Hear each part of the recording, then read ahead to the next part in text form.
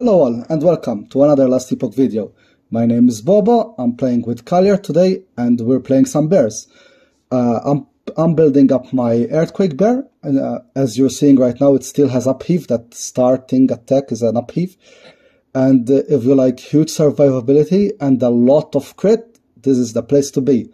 Uh, Galliard is running his Frost Bear and uh, I'm running my Earthquake, so let's talk a bit about him. You run in, you maul, when you're maul, you're proccing right now, it's upheave, eventually it's going to be the Earthquake. I have some a small amount of footage later for you to see.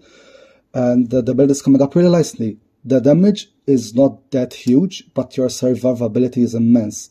You're always at full health. Uh, you have a bunch of leech. Whenever you're hitting something, you're leeching so much life back.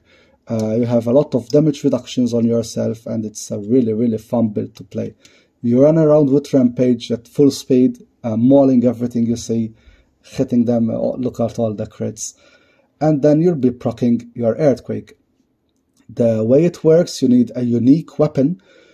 Uh, right now it's Earthquake, the three attacks that happens after the maul are the Earthquake attack.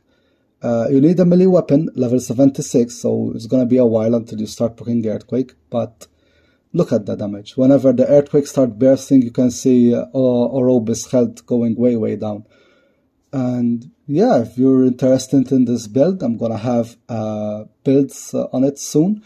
I'm gonna make it. Uh, I'm not. I'm not sure if I'll make uh, uh, multiple videos or just one video for the a long one because you need to change some talents around, and it's a, a bit of a complicated build to have it running. But once you do, it's a really really fun build to do so i highly recommend it anyway guys stay tuned and i see you soon bye